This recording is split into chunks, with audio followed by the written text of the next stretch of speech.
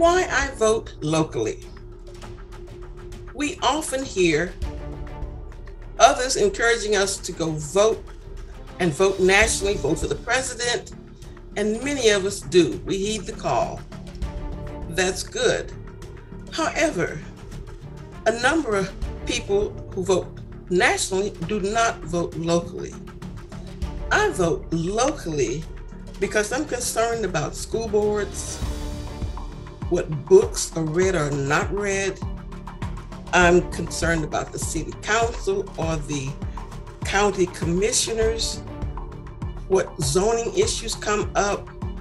Is there going to be a dump in the community that I just purchased a home in?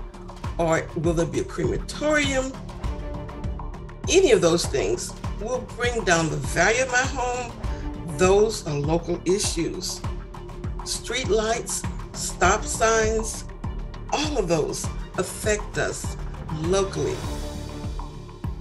If you look at it in a visual content,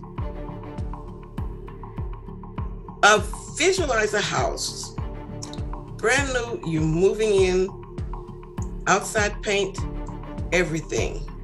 Looks really good, just what you ordered, just what you wanted. Open the door, inside, blank. No inside walls, no floor, no cabinets, counters, nothing. To me, that's equivalent to only voting in the national election. Voting for the local election, pictorially for me, places carpet, floors, carpet, walls, wall hangings, pictures, cabinets, the whole nine yards.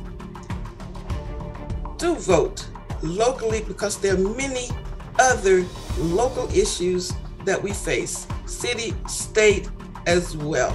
Don't forget to vote.